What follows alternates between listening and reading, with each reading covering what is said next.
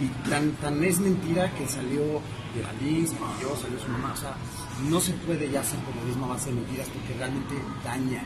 Si, si, es, si, esto hubiera sido, si esto hubiera sido en Estados Unidos, esta, ya era, sería una demanda porque no puedes hacer público algo médico. Pues sí, pues sí, desgraciadamente estamos en México y las leyes todavía se necesita ya legislar y se necesita poner ya un límite a este tipo de periodismo en donde realmente con difamaciones y con suposiciones y con eh, señalamientos falsos eh, traen de verdad consecuencias bien graves y, ya tiene ya, ya basta, ya hay que poner un alto. Y Geraldine lo dijo, Geraldine lo dijo muy bien en su Instagram, que ya ustedes, los medios serios, ya basta darle juego a ese tipo de información, porque la gente se lo cree y eso es lo más grave.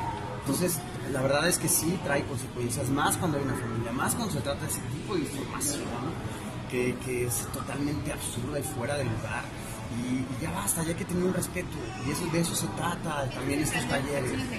Es que ya, ya hay una demanda, pero desgraciadamente pues, las leyes van muy lento y es, es, difícil proceder, y yo creo que a lo mejor por eso la demanda, pues a lo mejor por eso es todo, no sé.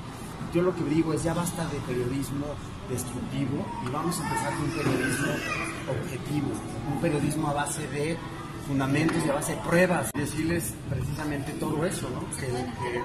que, lo que leen y todo lo que pueden llegar a, tener acceso a internet y demás son puros chismes y, darles evidentemente en el hogar el amor, las bases, este, ahora sí el amor, eh, la educación, están muy bien.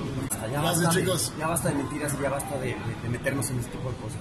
Les agradezco y es parte precisamente de lo que hacemos en esta fundación. Respeto, respeto mutuo, respeto como seres humanos. Ya basta de tirarnos, ya basta de tirarnos sobre todo con mentiras. Gracias.